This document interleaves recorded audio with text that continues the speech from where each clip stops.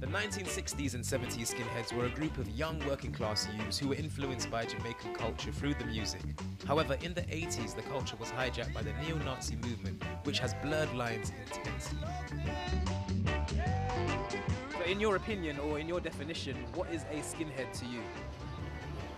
Racist, bold, really aggressive. Is the whole, this, you know, that outlook as well, sort of hard and kind of look. I'd probably want to cross the road. If you'd asked me maybe 10 years ago, when I was about 16, I would have thought football factory, these guys, these guys are causing trouble. There's a lot of confusion out there. A lot of people think skinheads are racist, but they're not. You know, I was walking down my road one like a few years ago. I had just normal hair, I had a bob cut, and then as soon as I got the haircut, you know, went like, oi, oi, you, you know, you're skinhead, you're this and you're that. And I said, no, mate, read up on it. My parents grew up like, you know, with skinhead being a very negative thing. What they were exposed to was only what they read in the papers. Yeah. Which, you know, was never, a, I, mean, I, can't, I can't say it from personal experience because it wasn't there, but, you know, that's what my parents tell me. The misperception of what skinhead culture fundamentally is and was being taken now for something that people just automatically assume is, is racist. How does that make you feel and what do you think about it? Anyone who who says they're racist and they're a skinhead is just a total Idiot. hypocrite. You're listening to music by Jamaican people, by Caribbean people, but yet you still want to beat up the blacks and it's, it's just ridiculous.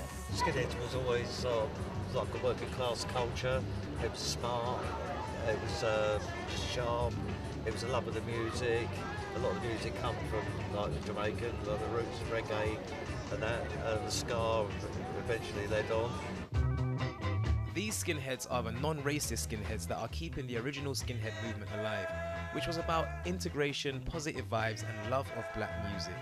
This has attracted a lot of the young generation who are keeping it alive through DJing and organising events.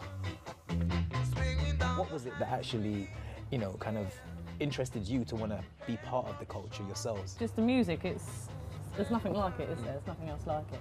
Listening to the music was good, but seeing everyone dressed so smart, I wanted to look like that as well. So it's, was, it was good. It's just that you look so smart. Even if you're just wearing a pair of jeans, you still look good. True. It is just the style. You are still quite young, but you know, the kind of um, style that you have taken inspiration from is one that is, you know, much older than yourself. What was it that got you into that style? It just really struck a chord with me, proper like buzzed my hair and, Yeah, yeah. and, uh, and uh, away I went. I was then a skinhead. You know, so many people from different cultures, different backgrounds came together uh, on a culture that was, you know, based on music that was from the Caribbean. You think the gigs are key to keeping the music alive? Yeah, it's Okay. keeping it alive. And I noticed that you get a lot of young ones now, and they come in and they enjoy it, you know. And, and then next time you see them, they're coming Yeah. like the Harrington, Yeah. or, you know, they're in their proper clothing. Yeah. I think it's really amazing that you you're brave enough and also passionate enough to keep this going.